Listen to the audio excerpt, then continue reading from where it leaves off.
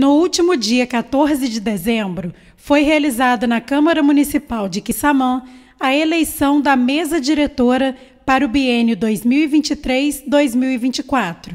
onde foram eleitos, na presidência, o vereador Fábio Castro, vice-presidente Cássio Marins Reis, primeiro secretário Janderson Barreto Chagas e segundo secretário Rildo Barcelos Sobrinho. Fábio, primeiro quero te parabenizar pela sua vitória na eleição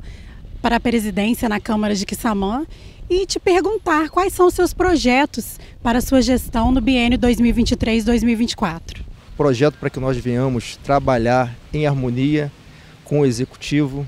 que no meu ponto de vista, a, a união do legislativo com o executivo, ele traz um resultado positivo para a população. E eu vejo que, que hoje a população espera isso, principalmente do legislativo, que eles entram em harmonia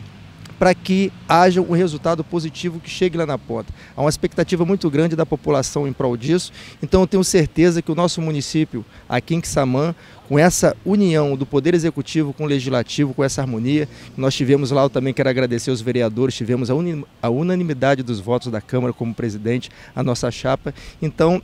que com isso nós viemos trazer aquilo que a população tanto espera, o resultado positivo, o desenvolvimento econômico do nosso município, a saúde em primeiro lugar, educação. Então são essas ações que nós queremos fazer acontecer na nossa cidade e transformar a vida daquelas pessoas que a expectativa que eles têm de nós vereadores, do, do chefe do Poder Executivo, do secretário do município, é que eles se unam para resolver as demandas da cidade e nós nos colocamos à disposição para esse resultado.